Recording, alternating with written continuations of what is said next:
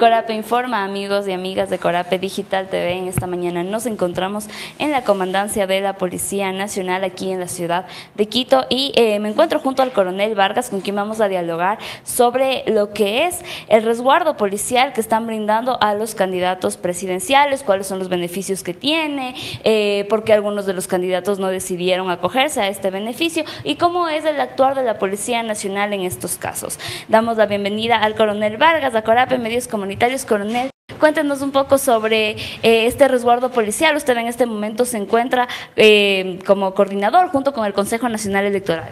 Sí, bueno, muchísimas gracias. Efectivamente, me encuentro al momento como coordinador entre la Policía Nacional del Ecuador y el Consejo Nacional Electoral para este proceso, ¿no?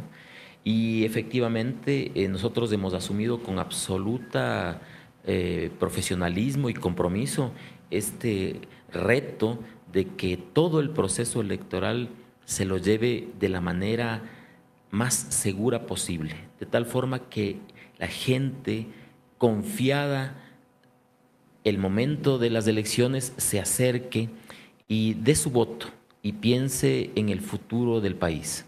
Nosotros como Policía Nacional eh, en, esta, en, este evento hemos eh, decidido que el subcomando general de la Policía Nacional, es decir, mi general Manolo Íñiguez, es quien va a liderar todos los ejes del proceso electoral. Así le comento que no solamente van a estar policías uniformados, sino va a existir personal de inteligencia y de investigaciones durante todo el desenvolvimiento del proceso, es decir, antes, durante y después. Por ejemplo, en este momento ya se activaron las mesas técnicas y estamos asistiendo todas las semanas delegados de todas las eh, instituciones participantes en el proceso electoral a reuniones que son convocadas por el Consejo Nacional Electoral. El día de mañana tenemos nuestra segunda reunión, nuestra segunda mesa de seguridad, son 17 en total hasta el 20 de agosto. También debemos informar que eh, se tomó la decisión de que los candidatos que deseen contar con seguridad eh, policial puedan, puedan solicitarla. Y en este momento ya hay varios de ellos que han aceptado eh, el acompañamiento de nuestros oficiales y clases de la Policía Nacional con la finalidad de brindarle un poco más de seguridad, un poco más de seguridad. Hay que tomar en consideración que la Policía Nacional, por misión constitucional, tiene la función de velar por el orden y la seguridad ciudadana.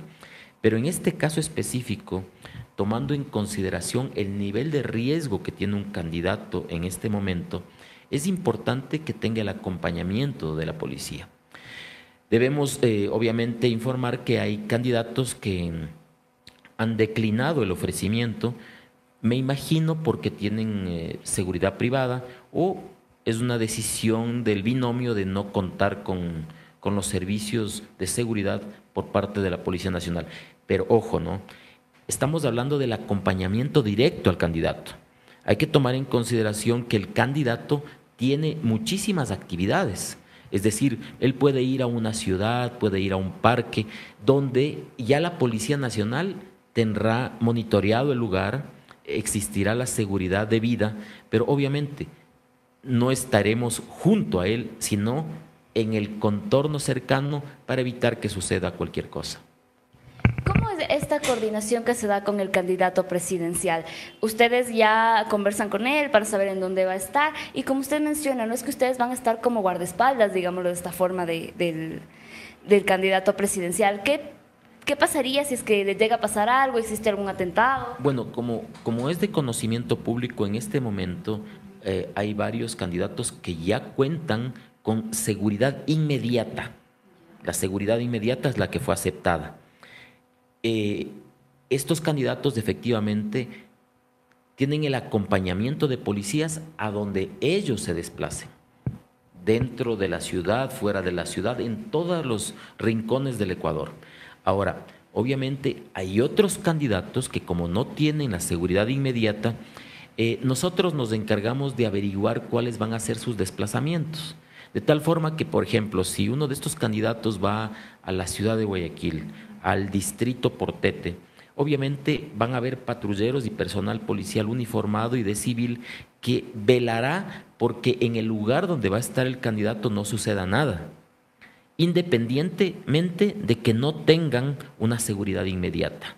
Entonces, obviamente nosotros tenemos procedimientos y protocolos y si algo les llegara a suceder al candidato, inmediatamente se activan, porque nosotros como Policía Nacional estamos 24/7 en el territorio nacional y también tenemos nuestros tres ejes, nuestro eje de investigaciones, nuestro eje de inteligencia y nuestro eje preventivo, que somos los policías uniformados.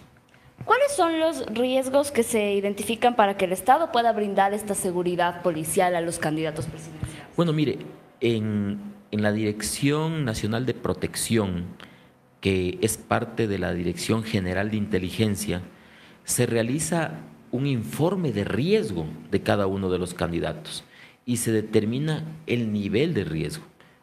Como les había indicado, solamente el hecho ya de ser candidato a la presidencia de la República o candidato a la vicepresidencia de la República, ya te pone en una situación un poco expectante, ¿no? Ya estás un poco más, eh, estás en una situación un poco más de acercamiento con la gente. Y usted sabe, como este es un tema político, y en la política hay gente que está a favor y hay gente que está en contra, lo que queremos es básicamente precautelar la integridad física del candidato. Tenemos un caso especial que es el eh, caso del candidato Fernando Villavicencio. Él ya contaba, desde anteriormente, él ya contaba con un grupo de seguridad que le acompañaba por el nivel de riesgo que él tenía cuando cumplía las funciones de asambleísta. De ahí, nosotros, los candidatos eh, están de acuerdo con, las recomendaciones que la policía les da, porque obviamente nosotros tenemos personal de inteligencia también desplazado en el territorio, y si existe un alto riesgo eh, para trasladarse a un lugar, se le comunica al candidato, obviamente se refuerzan, eh, el trabajo policial se refuerza en el lugar de destino, pero el candidato conoce de los riesgos a los que él va a ser sometido, ¿no? ¿Esto había sucedido en elecciones anteriores o se da tomando en cuenta también que pasamos ya un proceso electoral del de, mes de febrero en donde ocurrieron atentados a algunos candidatos? Bueno, mire, históricamente yo le digo, los candidatos que han deseado han tenido seguridad policial. Esto no es nuevo, ya viene desde hace muchísimos años. Obviamente nosotros tenemos que entender que el Ecuador actualmente tiene zonas crimífugas y zonas críticas. Se ha hecho un análisis por parte de la Dirección General de Operaciones de la Policía Nacional y se ha determinado que en el Ecuador hay 400 kilómetros cuadrados de zonas críticas y el resto, recordemos que el Ecuador tiene 260.670 kilómetros cuadrados, son zonas o crimífugas o donde no existen delitos. Es decir, nosotros tenemos que siempre analizar el contexto y analizarlo técnicamente, porque hay personas que, por ejemplo, tienen temor de la criminalidad porque observan lo que está pasando en Guayaquil, en cierto distrito, cuando ellos tienen una realidad totalmente distinta viviendo en, en Quito, en Ambato, en La Tacunga o en otros lugares. Entonces, definitivamente nosotros tenemos que identificar exactamente cuáles son los lugares críticos para reforzarlos. Pero como le decía, crimífugo significa que solamente existe delincuencia común. Entonces, por ejemplo, le ponemos la ciudad de Riobamba. En Riobamba no hay, eh, no es una zona crítica. Hay partes de Riobamba donde existe una delincuencia crimífuga, que es delincuencia común, y otros sectores donde definitivamente no hay delincuencia. Entonces, nosotros al darle seguridad, seguridad al candidato, analizamos todos estos aspectos. Este es todo un protocolo. Nosotros llenamos matrices, informes diarios, de tal forma que tenemos la certeza de que las personas van a estar seguras, que van a poder realizar sus desplazamientos. Hay que tomar en consideración que todavía no inicia la campaña electoral, pero el Consejo Nacional Electoral ya dio su certificación de que está en firme la candidatura de los ocho binomios. Entonces, nosotros, al tener noticia de, esas, de esa certificación por parte del Consejo Nacional Electoral, es nuestra obligación, nuestra misionalidad, el atender la seguridad ciudadana y el orden público de estos candidatos. Coronel, para que la Policía Nacional pueda atender esta, esta seguridad de los candidatos, ¿cuenta con todo el equipamiento necesario? Sí, bueno, la gente, el equipo que está trabajando con los candidatos son personas que ya tienen una, primero una vasta experiencia, tienen los medios logísticos y el equipamiento necesario para cumplir su función. Ellos son personas que inclusive tuvieron una etapa de socialización y de entrenamiento previo a hacerse cargo de la seguridad de los candidatos. De igual forma, les podría manifestar con relación al Consejo Nacional Electoral que eh, ya estamos intercambiando información, ellos ya nos han entregado a nosotros los lugares donde van a existir los recintos electorales, eh, la el, subcomando general ya generó una directiva. Y con esa directiva en este momento ya estamos eh, generando las órdenes de operaciones y de servicio en cada una de las subzonas, así les llamamos nosotros, pero son las provincias, para que cada uno de los comandantes comience a elaborar su plan de trabajo, digámoslo así, para que tenga más entendimiento, su plan de trabajo para que las elecciones se lleven a cabo con la seguridad de vida. Hablábamos al inicio de la entrevista que ya se están desarrollando unas mesas técnicas junto con el Consejo Nacional Electoral sobre el tema de la seguridad. ¿Qué es lo que se ha hablado para todo lo que va a ser el proceso electoral que se nos viene? Bueno, mire, por ejemplo, ahí tenemos en estas mesas técnicas o mesas de seguridad, tenemos la presencia del ECU, porque el ECU es fundamental, el ECU 911. También tenemos la presencia de Fuerzas Armadas, de gestión de riesgos y de varios ministerios, porque este es un trabajo en conjunto. Nosotros vamos trabajando de tal forma que de manera coordinada vayamos atendiendo las necesidades que van apareciendo. Pero lo que sí le digo es que se ha tomado todas las medidas necesarias, se ha planificado de una forma absolutamente profesional y eficiente, de tal forma que los candidatos y los electores tengan la debida seguridad durante el proceso electoral y que se pueda llevar a efecto este proceso democrático de una manera totalmente segura y transparente. Hay que tomar en consideración que también ya viene el, periodo de capacitación, porque en el caso de la Policía Nacional van a existir 58 mil efectivos trabajando durante la jornada electoral. 58 mil. Somos la institución que mayor número de efectivos pondrá al servicio de las elecciones, obviamente sin descuidar nuestro servicio normal.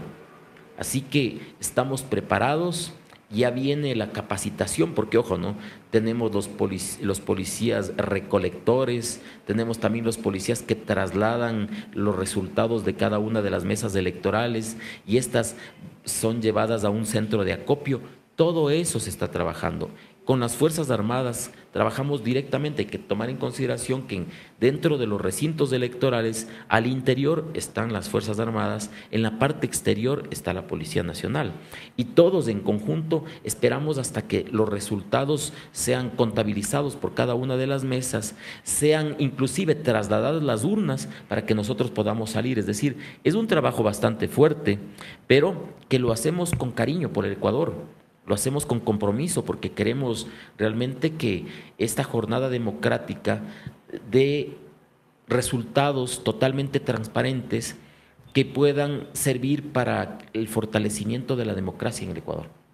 Muchísimas gracias y con este mensaje agradecemos al coronel Vargas por haber compartido este espacio en esta mañana en Corape Digital TV para contarnos más sobre cómo se está desarrollando el ámbito de la seguridad para este próximo proceso electoral que ya se nos viene el 20 de agosto. Como ya mencionó, la policía ya se encuentra coordinando junto con los candidatos presidenciales para poder brindar este resguardo policial y que ellos estén seguros en los lugares a los que ellos van a acudir. De igual forma, nos supo mencionar que 58 mil policías van a estar presentes en lo que va a ser eh, las elecciones del 20 de agosto para poder brindar seguridad a toda la ciudadanía que va a acudir a las urnas. Es lo que les podemos informar desde aquí, desde este punto de la capital ecuatoriana. Gandhi Guama los acompañó en cámaras, de aquí Camila Villasís.